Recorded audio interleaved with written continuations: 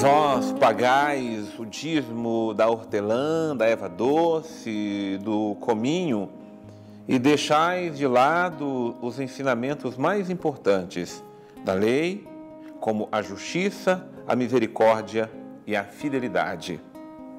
Vós deveríeis praticar isso sem, contudo, deixar aquilo.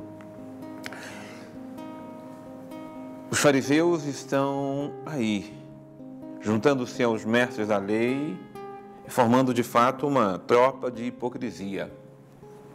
Muito cuidado, meus irmãos, muito cuidado, minhas amadas irmãs, para não vivermos a religião da hipocrisia, porque essa é uma tentação.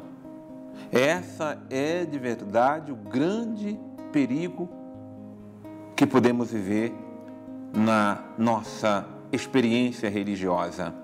Sim, sermos pessoas que carregamos símbolos religiosos, sermos pessoas que falamos de Deus para tudo e para todos. Nós até temos brincos com o nome de Jesus, com a Virgem Maria, nós até usamos blusas, nós temos até um tal, uma cruz como a do padre, uns usam até um pouco maior.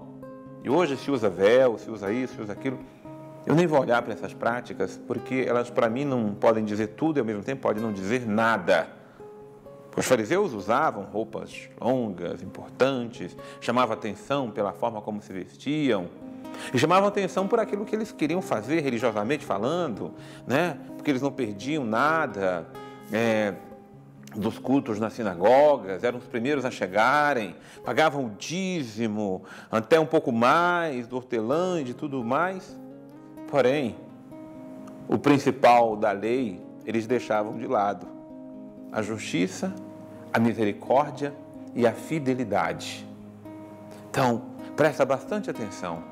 Não é para deixar de fazermos as nossas práticas, pagar o dízimo, ir ao culto religioso, porque tem gente que também despreza isso. Não, eu não vou para a igreja não, mas eu sou melhor do que, do que quem vai para a igreja. Está errado também. A questão é que precisamos ir, mas temos que cumprir o que ouvimos lá. E até se as pessoas lá não cumprem, aí o problema é delas, mas eu preciso. Mas o que eu não posso deixar de lado de forma alguma é o amor a Deus, fidelidade a Deus e praticar a justiça e a misericórdia.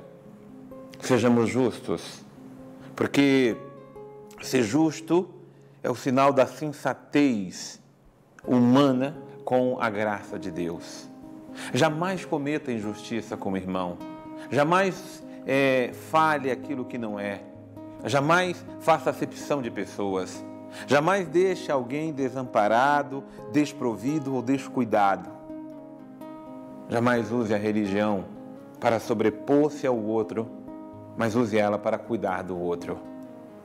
A religião faz de nós pessoas misericordiosas, bondosa para com os nossos irmãos. A misericórdia de exercer o perdão, de não julgar, de não condenar.